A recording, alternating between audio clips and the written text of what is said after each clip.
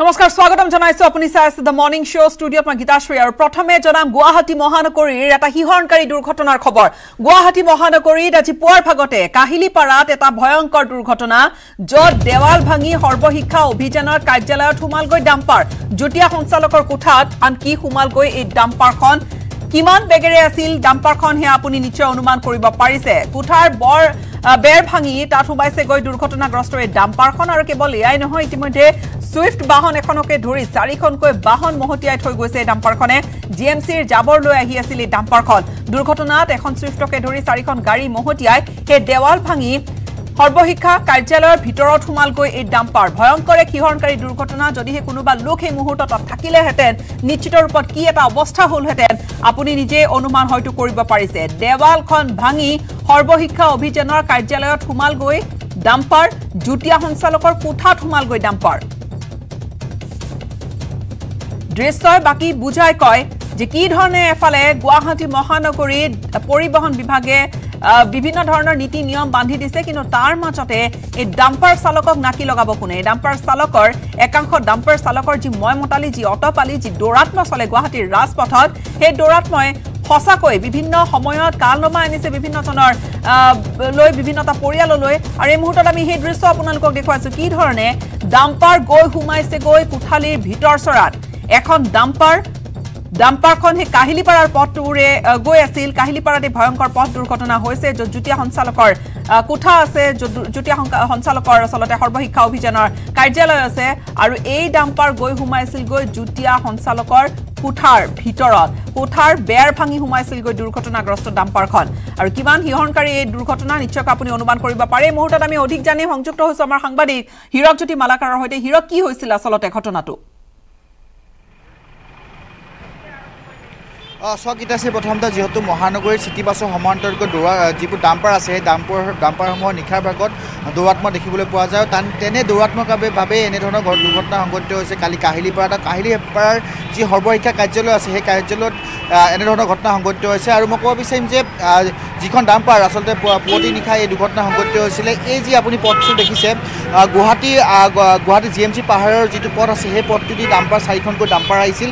আৰু ডাম্পাৰটো ডাম্পাৰ আহি প্ৰথমতে ডাম্পাৰ চাৰিখনকৈ অহাৰ পিছত প্ৰথমখন যিটো ডাম্পাৰ আছে সেই ডাম্পাৰখনে পচন্দ দৌৰেৰে এই ৱালখন যিখন আছে এই ৱালত খুন্দা মাৰে। খুন্দা মৰাৰ পিছত ৱালখন ভাঙি পৰে ভাঙি পৰে ভাঙি নিয়ন্ত্ৰণ হেৰুৱাৰ ফলত ডাম্পাৰ যি যিখন ডাম্পাৰ আছিলে সেই ডাম্পাৰখন ভিতৰত প্ৰৱেশ কৰাৰ ফলত যিটো কোঠা আছে সেই কোঠাত পচন্দ দৌৰে খুন্দা মৰাৰ পিছত কোঠাটো সম্পূৰ্ণৰূপে ভাঙি যোৱা পৰিলক্ষিত হৈছে। আৰু গুৱাহাটী মহানগৰীত বিশেষকৈ কাহিলীপাৰাত এনেধৰণৰ ঘটনা পূৰ্বেও দেখিবলৈ পোৱা যায়। কিন্তু এই- ঘটনাৰ পিছত যেন যি যি প্ৰশাসনে অথবা যেনেধৰণৰ ব্যৱস্থা ল'ব লাগিছিল তেনেধৰণৰ ব্যৱস্থা পূৰ্বেতে লোৱা দেখিবলৈ পোৱা পোৱা যোৱা নাই। আৰু এই মুহূৰ্তত যিহেতু ডাম্পাৰখনৰ দৃশ্য দেখাই আছোঁ আৰু ডাম্পাৰখন যিহেতু A S A S zero' one zero' A S fifteen three three zero' five যিখন ডাম্পাৰ আছে সেই ডাম্পাৰখনে যিবোৰ ডাম্পিং গ্ৰাউণ্ডৰ আচলতে জি এম চি যিখন নৱনিৰ্মিত ছুপাৰ স্পেচিয়েলিটি হস্পিটেল আছে সেই হস্পিটেলৰ যিবোৰ আৱৰ্জনা আছিলে সেই আৱৰ্জনাসমূহ লৈ আহিছিল আৰু আৱৰ্জনাসমূহ লৈ অহাৰ ফলত তেওঁলোকে যিহেতু বৰা বৰা চাৰ্ভিচ বৰা বৰাগাঁও যি আছে সেই বৰাগাঁৱলৈ লৈ গৈছিল। আৰু বৰাগাঁও লৈ যোৱাৰ সময়তে এনেধৰণৰ ঘটনা সংঘটিত হৈছে। আপোনালোকে প্ৰত্যক্ষ কৰিব যে যিখন ডাম্পাৰ আছিলে সেই ডাম্পাৰখনে কেনেকুৱা জোৰে খুন্দা মাৰিছে।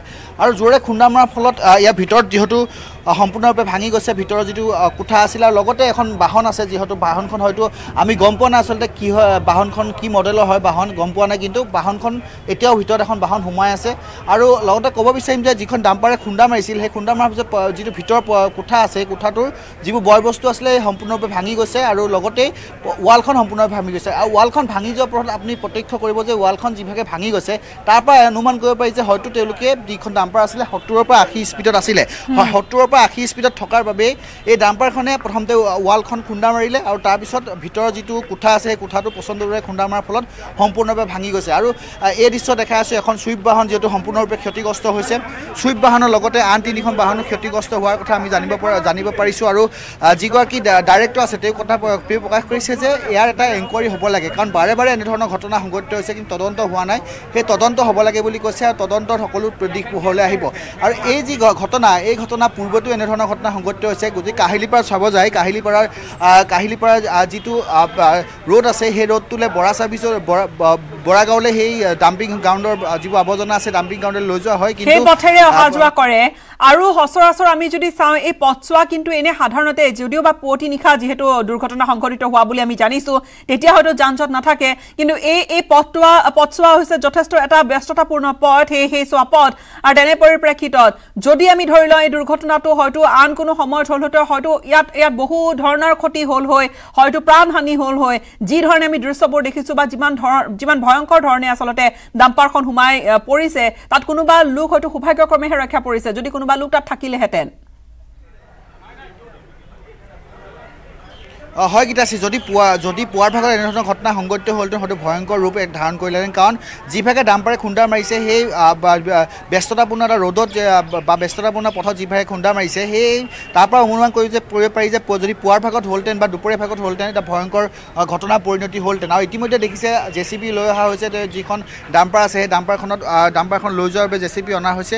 যিহেতু তেওঁলোকে অলপ কিছু সময় পিছতেই তাৰ সেই কামসমূহ কৰিব। কিন্তু যিখন ডাম্পাৰ আপোনালোকে দেখুৱাইছোঁ সেই ডাম্পাৰখন আচলতে পচন্দ দূৰে জোৰেৰে যিখন ৱাল আছে বা যিটো কাৰ্যালয় আছে যুটীয়া সঞ্চালকৰ যিটো কাৰ্যালয় আছে সেই কাৰ্যালয়ত পচন্দৰ জোৰে খুন্দা মাৰে আৰু খুন্দা মৰাৰ ফলত ৱালখন দেৱাল ভাঙি সম্পূৰ্ণৰূপে ভিতৰত সোমাই ভাঙি গৈছে। যোৱা হীৰক প্ৰশ্নতে যে ডাম্পাৰ চালকৰ যি দৌৰাত্ম যি গুৱাহাটী মহানগৰীৰ সেয়া ভিতৰৰ ৰাস্তাবোৰেই হওক বা মূল পথকেইটাই হওক বা হাইৱে হওক ডাম্পাৰ চালকৰ যি ধৰণৰ দৌৰাত্ম চলে যি ধৰণৰ এটা অটপালি চলে যি ধৰণৰ এটা তেওঁলোকৰ গতিৰ সৈতে বায়ুৰ সৈতে যেন তেওঁলোক আগবাঢ়ি যাব সেই ধৰণৰ এটা তেওঁলোকৰ যি এক মনোবৃত্তি তেওঁলোকৰ মনৰ ভাৱ সেই সেইবোৰ আচলতে ৰখাব তেওঁলোকক বাধা দিব কোনে? কেতিয়া তেওঁলোকক আচলতে এই তেওঁলোকৰ যি অটপালি চলে সেইবোৰ বন্ধ কেতিয়া হ'ব? হয় গীতাশ্ৰী যিহেতু চিটি বাছত যোৰাত্মক যি সময়ত দেখিবলৈ পোৱা গৈছিল আৰু সেই সময়তে পৰিবহণ বিভাগে বিভিন্ন ধৰণৰ ব্যৱস্থা গ্ৰহণ কৰা দেখিবলৈ পোৱা গৈছিল। কিন্তু ডাম্পাৰ দৌৰাত্মক ক্ষেত্ৰত নিশাৰ ভাগত যি ব্যৱস্থা ল'ব লাগে পৰিবহণ বিভাগে তেনেধৰণৰ ব্যৱস্থা লোৱা দেখিবলৈ পোৱা নাই। যিহেতু পুৱাৰ ভাগত বা দুপৰীয়া ভাগত যিসমূহ পৰিবহণ বিভাগৰ লোক আছে তেওঁলোকে অভিযান চলায়। যিসকলে আচলতে স্পীড স্পীড গাড়ী চলায় তেওঁলোকক জৰিমনা বিহে। কিন্তু তাৰ পৰিলক্ষিত যিবোৰ যিসকলে আচলতে এই ডাম্পাৰৰ এনেধৰণৰ দৌৰাত্ম চলে কিন্তু তেওঁ- তেওঁলোকৰ বিৰুদ্ধে এনেধৰণৰ ব্যৱস্থা লোৱা দেখিবলৈ পোৱা যোৱা নাই বা তেওঁলোকে নিশাও অভিযান চলোৱা দেখিবলৈ পোৱা পোৱা নাই।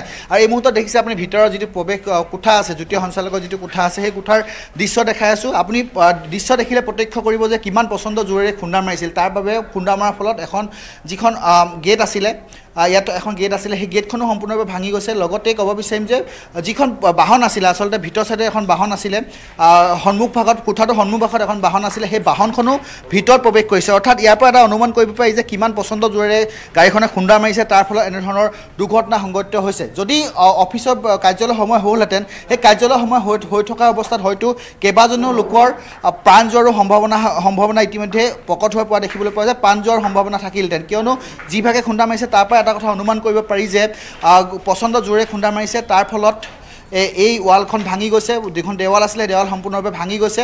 আৰু কেইবা কোনো লোক হতাহত হোৱা নাই যদিও যিজন ড্ৰাইভাৰ আছিলে সেই ড্ৰাইভাৰজনৰ কিছু ক্ষয় ক্ষতি হৈছে বা কিছু প্ৰাথমিক চিকিৎসাৰ প্ৰয়োজন হৈছে। কিয়নো প্ৰাথমিক চিকিৎসা এইকাৰণে প্ৰয়োজন হৈছে তেওঁ ছাল বাকলি গৈছে বুলি জানিব পৰা গৈছে।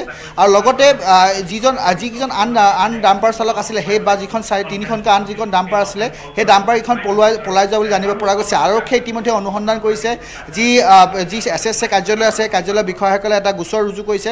আৰু তাৰ ভিত্তিত যিহেতু যিহেতু ক'ব বিচাৰিম যে তাৰ ভিত্তিত যিহেতু তদন্ত আৰম্ভ কৰিব আৰু ইতিমধ্যে ডাইৰেক্টৰগৰাকী নিজে প্ৰকাশ কৰিছে যে তাত অনুসন তদন্ত লাগে কাৰণ তদন্ত তদন্ত ইয়াৰ পূৰ্বে এনেধৰণৰ ঘটনা হৈছে কিন্তু তদন্ত আওতালৈ অহা নাই তদন্ত প্ৰয়োজন আছে। আৰু সেই এনকুৱাৰী তেওঁলোকে বিচাৰিছে আৰু তেওঁলোকে কৈছে যে ইয়াৰ ক্ষ- ক্ষয় ক্ষতি কিমান হৈছে আচলতে এই মুহূৰ্তলৈকে জানিব পৰা হোৱা নাই কিন্তু ক্ষয় ক্ষতি যে যথেষ্ট হৈছে এক প্ৰকাৰ আপুনি দৃশ্যৰ পৰাই এই কথা প্ৰমাণ কৰিব পাৰি গীতাশ্ৰী হয় বিদায় লৈছোঁ আপোনাৰ পৰা ধন্যবাদ জ্ঞাপন কৰিছোঁ হীৰক। এই মুহূৰ্তত আমি কিছু দৃশ্য দেখিলোঁ আৰু অতি শিহৰণকাৰী দৃশ্য সেয়া।